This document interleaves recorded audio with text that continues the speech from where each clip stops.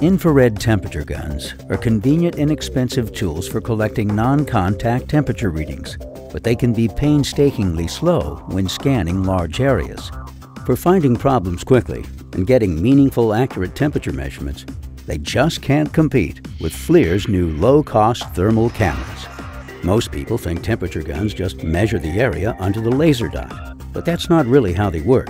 They actually give you the average temperature within a much larger area, with a FLIR, you can accurately measure targets as small as one half inch from over 60 feet away. But with a temperature gun, you have to be within inches of the thing you're trying to measure to get an accurate reading. The farther away you are, the less accurate your readings get. In fact, if you're as little as 48 inches away from the area you're trying to inspect with a typical temperature gun, you could be getting the average temperature within a circle almost 5 inches across.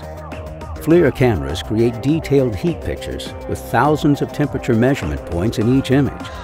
Scanning large areas quickly and accurately has never been easier. With FLIR, you just point, shoot, and see the heat. You can put the power of FLIR to work for you for under $2,000. So if you thought that thermal imaging systems were out of your reach, think again. Give us a call or visit us at FLIR.com to learn more.